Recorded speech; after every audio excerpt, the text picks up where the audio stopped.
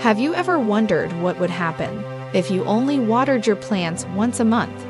It's been exactly 60 days since we planted the tomato clones, and we've watered each specimen exactly two times. Once at inception, and once again at day 30.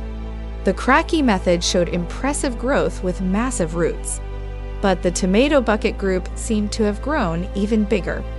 Unfortunately, the self-watering planter group didn't make it. Let's cut and weigh each specimen just to be sure. First, let's weigh the 5-gallon bucket specimen. It produced an impressive 3.9 ounces of total biomass. However, the Kratky group was much bigger and weighed in at 12.3 ounces of total biomass. But the tomato bucket specimen was much bigger still, weighing in at a monstrous 1 pound 5.8 ounces of total biomass which was about 50% bigger than the Kratky group. Let's also examine the root systems in the hydroponic groups.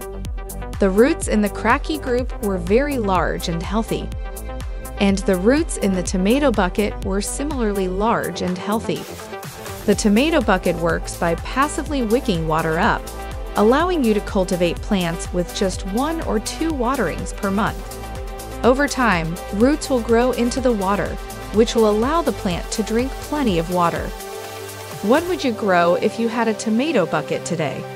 Start growing now at tomatobucket.com.